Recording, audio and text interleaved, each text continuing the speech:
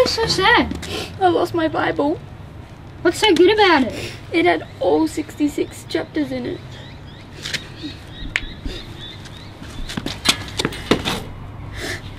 Why so sad, man?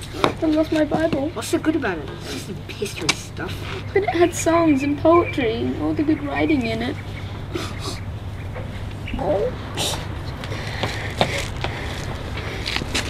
What's wrong? I lost my Bible. Who cares? It tells me how to live and it's God's word.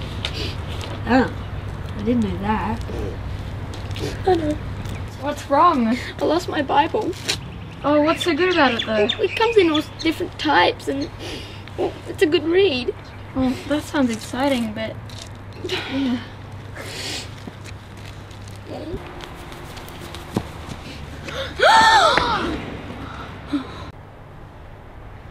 who are you?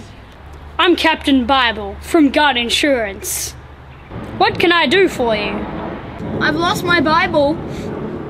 He's really sad. I can help you out. See?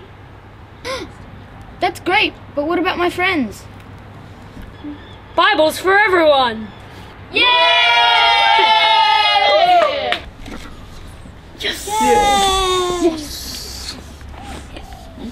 Judges 16, 16. Thank you, Captain Bible. You've saved the day. See you, kids. I'm off to do more work. Bye, Bible Man. New, Bibles!